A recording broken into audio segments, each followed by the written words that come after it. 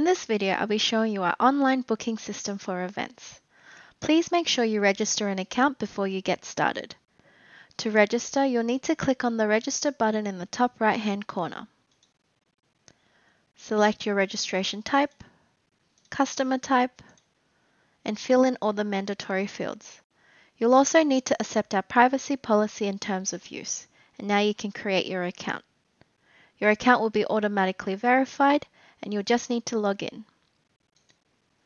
To log in, you'll need your email address you registered with and the password.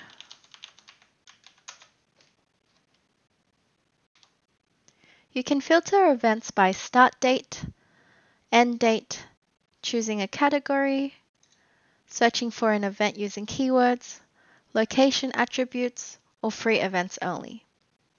You can also sort by month. For this demonstration, I will be booking the After School Art Club Term 1. I can see the event overview, venue location, photos, and additional information. I will now proceed to booking my ticket. I'll be booking two tickets for this event.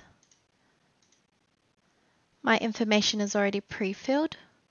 And if I scroll down, I'll need to add contact information from the students attending.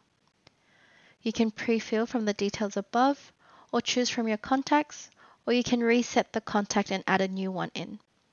If you add a new one in, you can save them for future use as well. I'll add in my contact. And for the second one, I'll also choose from my contact.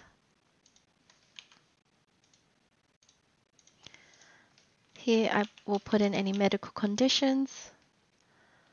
Upload any required documents if needed. And here you'll need to accept and read the terms and conditions. You can print them out as well. And if you would like to receive more information about similar events in the future, you can just tick this box. We can now complete the booking.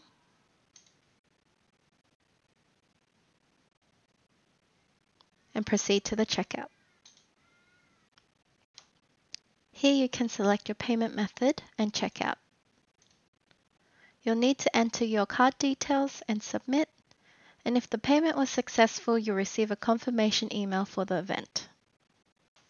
If you head over to My Account, you'll be able to see a list of your events that you've registered for, and here you can also change your details. You can also add contacts, change your password, or deactivate your account.